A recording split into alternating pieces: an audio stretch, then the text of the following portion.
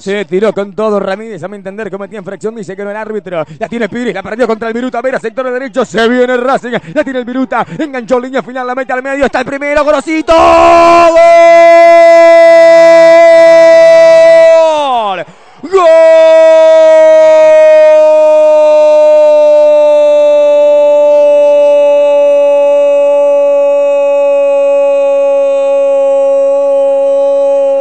De Racing, del equipo de Sayago, de la del Bocha Damián Santín, una pérdida contra el sector izquierdo de la luz, y con este doble 9 no podés perder, el Viruta Vera de asistidor como puntero derecho, se frenó justito en la línea final, la metió al medio porque lo vio a y el delantero, el capitán, el que está acostumbrado a asistir, hoy se vistió de centro delantero goleador, le manda al fondo del arco, porque Racing sueña con el pasaje a playoff. En esta final del torneo competencia y en 43 minutos del primer tiempo se rompe la paridad del Estadio Centenario. Racing Club de Montevideo 1, la Lucero, el capitán Luis Gorosito, el grito sagrado. Martín Guerreiro, el relator con el más alto nivel. En la anterior lo perdonó, en esta no. Segundo error consecutivo en salida de la defensa de la luz y esta vez fue aprovechado por el doble 9. Viruta Vera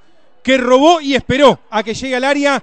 Luis Gorosito, centro perfecto para el capitán, para el número 8 que define de primera entre los dos zagueros lejos de la mano izquierda del Johnny da Silva. Injusto por el trámite del partido, pero efectivo por lo que acaba de hacer el conjunto de Racing.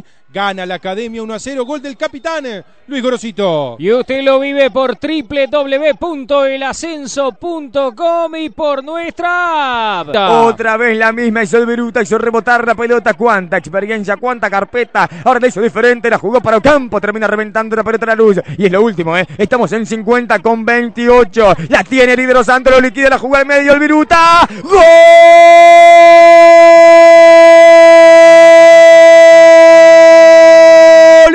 Y campeonato. ¡Gol!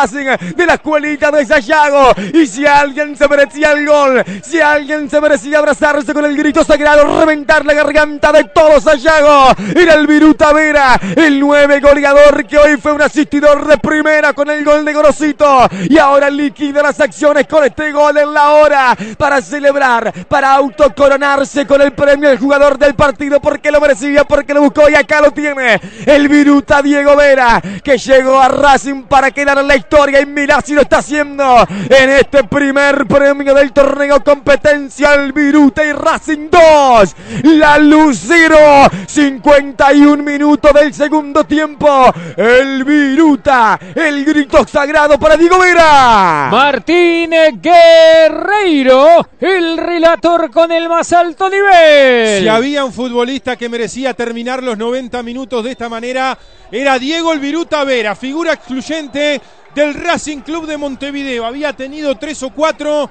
ocasiones para liquidar.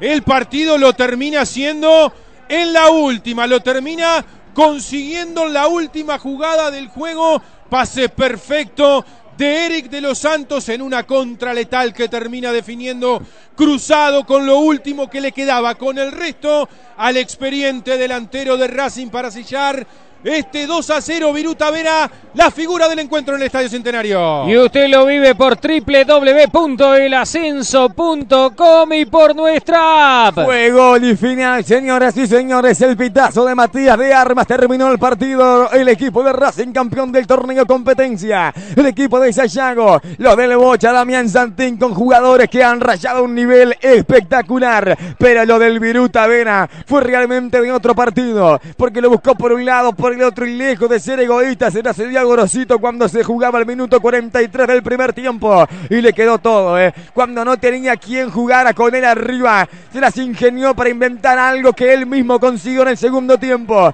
Con esa asistencia de Eric de los Santos para colocar el segundo. Para quedarse con el gol y el campeonato.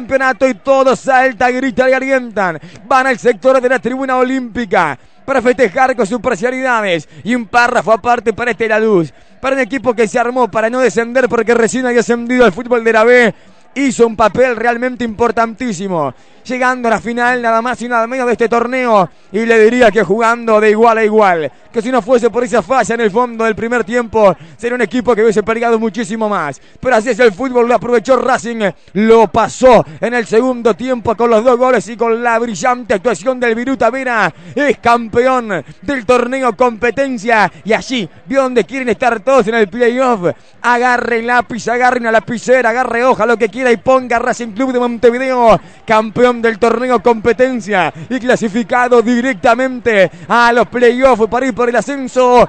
Elegimos en rumbo al ascenso al jugador Cortiluz, porque Cortiluz protege su inversión. Sin ningún tipo de dudas, Diego Viruta Vera fue el jugador más importante que han tenido estos 90 minutos. Titula los primeros, eh, perdón, los 90 minutos de fútbol con la victoria y el campeonato para el equipo de Sayago. Mauricio Benítez por rumbo al ascenso. Cuando no aparece el juego colectivo, cuando el fútbol en equipo está ausente en partidos con estas características, en una final como la que se disputaba hoy aquí en el Estadio Centenario, la jerarquía individual la capacidad futbolística y la experiencia de algunos futbolistas terminan siendo determinantes a la hora de este resultado final. Diego Vera y Luis Gorosito. No es ninguna casualidad que ellos dos hayan sido los abanderados de esta victoria de Racing, que se termina justificando con lo hecho en los segundos 45 minutos, más allá de que había sido mejor la luz en el primer tiempo, lo termina sacando de buena manera